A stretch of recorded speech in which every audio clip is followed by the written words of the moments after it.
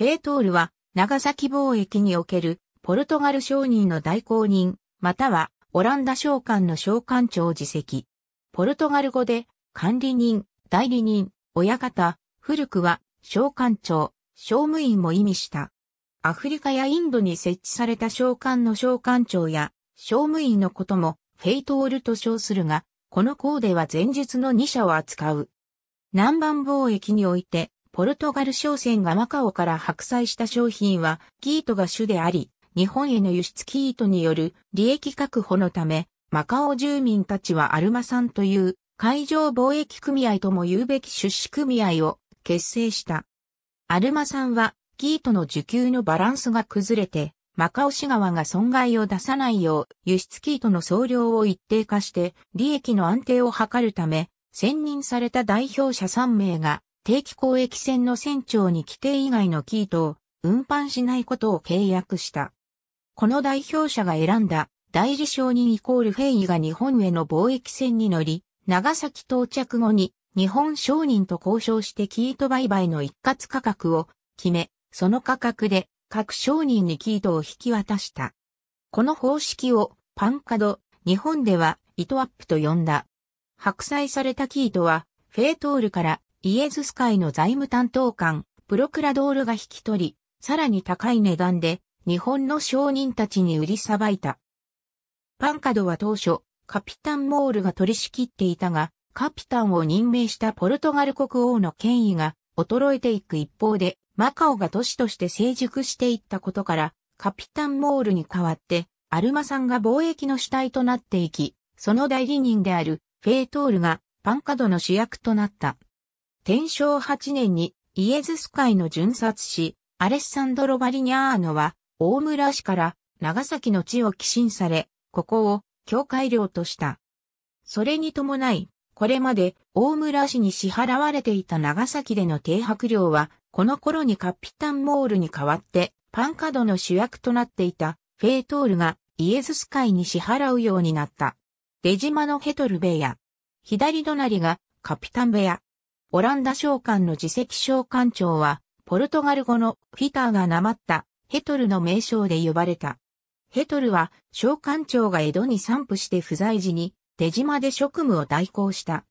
自責の官員ではあっても、クラニ役と呼ばれる倉庫係や上筆者を兼任していることもあり、必ずしも上級商務員とは限らなかった。長崎の出島に設置された召喚には、住まいとしてヘトル部屋があった。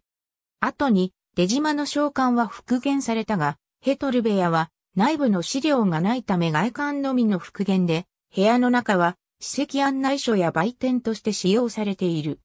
現代ポルトガル語辞典白水社532ページ。アナ・ロドリゲス・オリベーラ、アリンダ、ロドリゲス、フランシスコ・カンタニエ・デチョ、世界の教科書、シリーズ44ポルトガルの歴史、小学校歴史教科書、東明彦役明石書店、197ページ。ルシオ・デ・ソーザ、オカミホコチョ、大航海時代の日本人奴隷アジア、新大陸、ヨーロッパ中央公論新社、147から150ページ。ポルトガル商船とイトワップ制度、長崎県の歴史山川出版社、150から152ページ。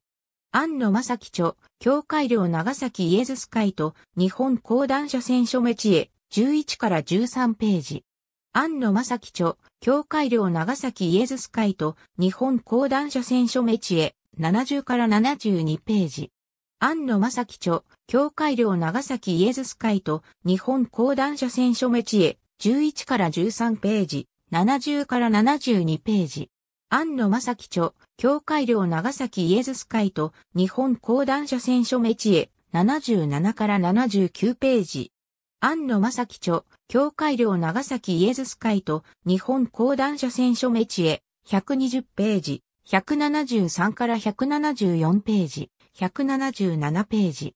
小江領時代イコール教会領長崎時代、安野正樹著、教会領長崎イエズス会と日本講談社選書メチエ、85から86ページ。安野正樹著、教会領長崎イエズス会と日本講談社選書メチエ、120ページ、174ページ。岩生成一著、日本の歴史14鎖国中高文庫、390ページ。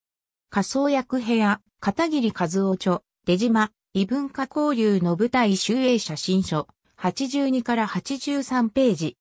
ヘトルヘア長崎県高等学校教育研究会、地歴公民部会歴史文化会編、長崎、平戸散歩25山川出版社、192から193ページ。仮想役部屋、片桐和夫著、出島、異文化交流の舞台集英写真書、82から83ページ。岩生成一著、日本の歴史14鎖国中高文庫、412ページ。片桐和夫著、出島、異文化交流の舞台集英写真書、76ページ。ヘトルヘア長崎県高等学校教育研究会、地歴公民部会歴史文化会編、長崎、平戸散歩25山川出版社、192から193ページ。ヘトルベア、ブラタモリ、角川書店、21ページ。ありがとうございます。